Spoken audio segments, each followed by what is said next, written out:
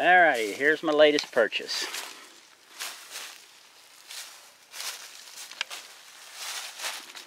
It'll be kind of hard to see here. This is the Warbonnet Blackbird XLC. And this configuration is with the winter cover.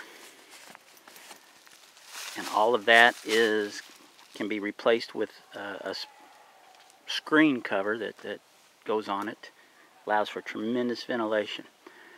Last night it got down to uh, probably 38, 39 degrees. Got up this morning and had no condensation in there. I'm sure when it starts getting colder we'll have some condensation, but uh, last night I didn't have any.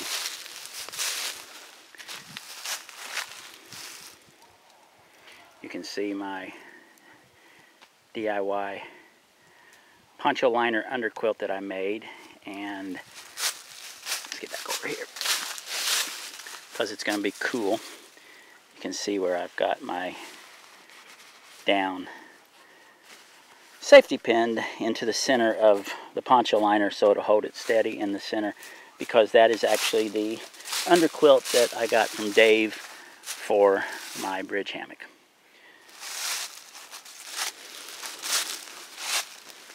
Probably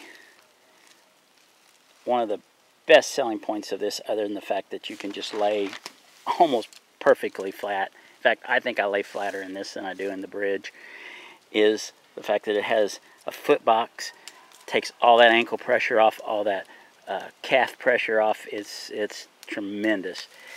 Uh, it's a perfect side sleeping hammock. Also, I've never been able to sleep on my back, and I can fall asleep in this thing on my back with zero problem. The biggest selling point, like I was evading to, is probably to be hard to see, is this shelf, which comes over